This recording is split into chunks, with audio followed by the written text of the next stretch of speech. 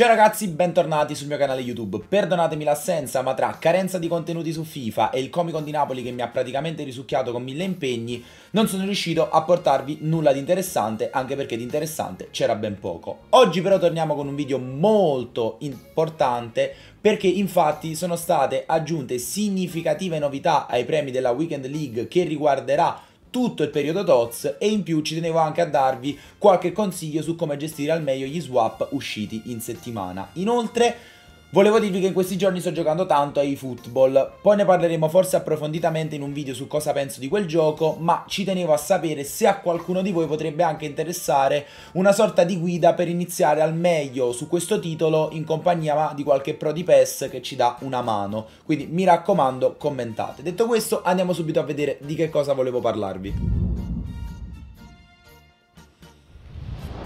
Come detto in apertura, appunto, sono stati modificati i premi della Weekend League. Come sapete, durante il periodo in cui EA rilascia i TOTS, questi subiscono dei bei cambiamenti ed è quello che è successo anche quest'anno, anche se non tutti forse saranno contenti di come li hanno gestiti, perché andiamo a vedere immediatamente nel dettaglio e facciamo una distinzione tra quelli che sono i pick e i pack, perché sappiamo bene che uh, quando andiamo ad ottenere determinati risultati, anche negli altri FIFA andavamo ad ottenere pick contenenti TOTS ma soprattutto pacchetti non più if ma contenenti TOTS. A tal proposito parto subito col dirvi che i pacchetti if che avete conservato non si trasmuteranno in pacchetti TOTS. Gli unici pacchetti che vi daranno TOTS garantiti sono quelli che guadagnerete a partire da questa Weekend League che inoltre inizierà non domani mattina quindi venerdì al solito orario ma alle 21 ora italiana in maniera tale da evitare che qualcuno la potesse finire prima che uscissero i TOTS e ritrovarsi con i pick cannati e finirà invece martedì mattina, quindi si recupererà quel giorno lì. Bene, detto ciò, allora partiamo dal, dai pacchetti perché i pacchetti che garantiscono il TOTS al suo interno sono pacchetti che noi possiamo ad andare ad ottenere dal livello 4 in poi e in particolar modo andando appunto a schiacciare qui sul livello 4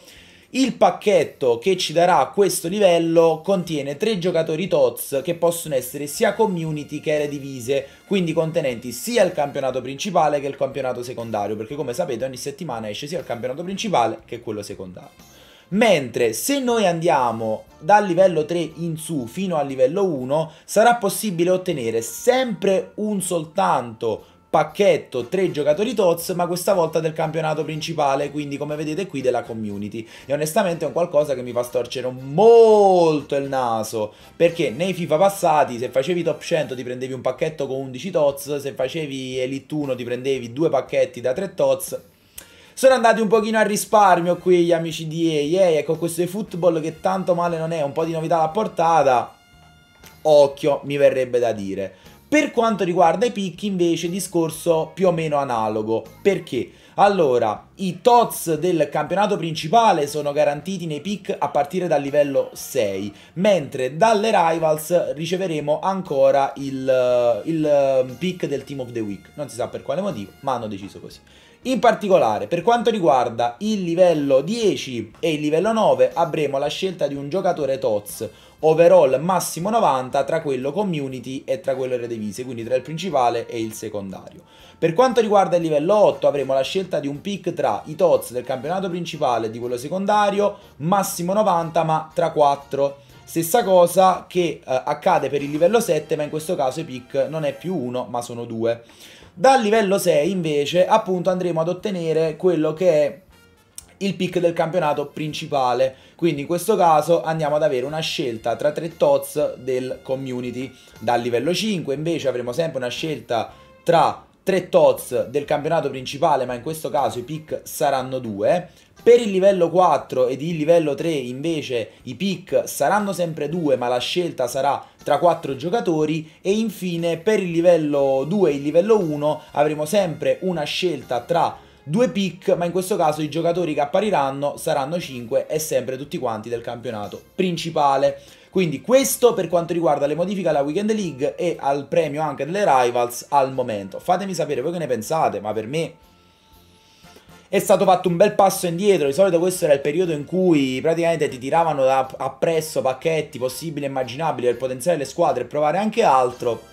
Mi sembra che quest'anno abbiano voluto un attimino tirare il freno a mano e non è un bene a mio avviso. Per quanto riguarda invece gli swap che sono usciti um, in settimana, secondo me abbiamo visto praticamente il miglior pacchetto eh, è il miglior comparto di swap mai rilasciato fino ad oggi. Perché? Abbiamo tutta questa serie di pacchetti, il 2582 l'83 l'84 che fa il suo debutto, abbiamo anche l'85 per 20 giocatori, quindi tutta una serie di pacchetti che per me sono molto utili in ottica di andare magari a ricaricare i club, poter trovare TOTS, poterli spacchettare, poter fare dei fodder per fare sfide icon che si presuppone di questo periodo rilasceranno anche giocatori abbastanza gagliardi. A 5 token abbiamo anche Van der Sar Moments che è un portiere della Madonna, anche se io ho preferito il mid, non mi chiedete perché, ma mi sembrava rendere meglio.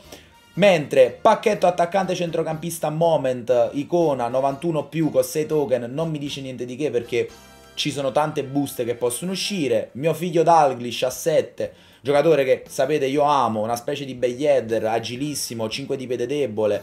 che però quest'anno non è propriamente in meta perché sapete bene quanto sono importanti le 5 skill vi ho fatto venire praticamente ormai la nausea con, uh, con questo argomento Roberto Carlos a 8 token terzino forte ma ce ne sono veramente tanti a 8 token invece abbiamo l'interessante pacchetto Momenticona 93+, che per me può avere senso. Best con 9 token, per carità parliamo di un giocatore molto molto forte, ma che per quando sarà riscattabile saranno usciti già tanti toz e quindi carte che magari abbiamo trovato non scambiabili dalla VL oppure abbiamo preso a poco prezzo che sono dei suoi competitors assolutamente validi.